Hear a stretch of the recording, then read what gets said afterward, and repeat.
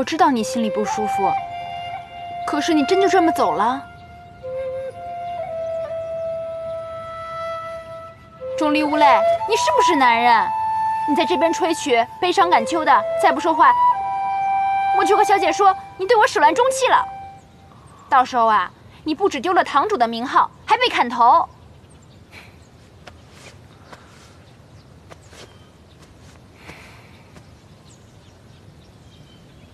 第一姑娘，你打算去哪儿？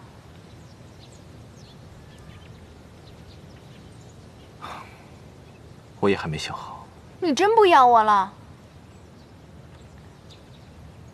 你跟我眉来眼去这么久，你敢说你心里没有我？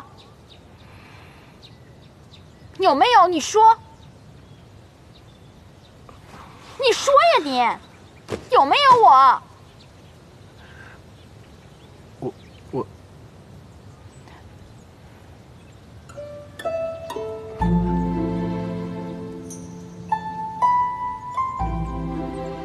算了，不逼你说了。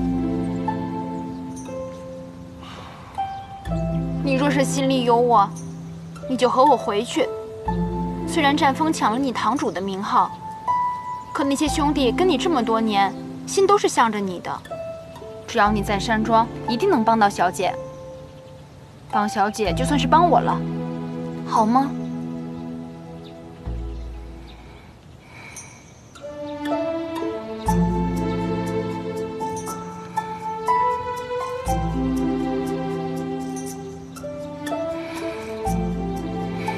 好那走吧。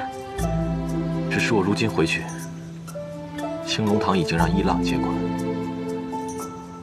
也是无处可去。谁说你无处可去？来我们梅院吧。梅院？那怎么可以？那全是姑娘。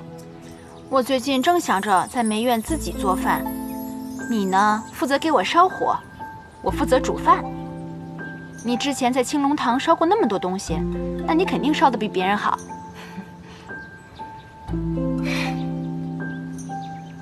干嘛？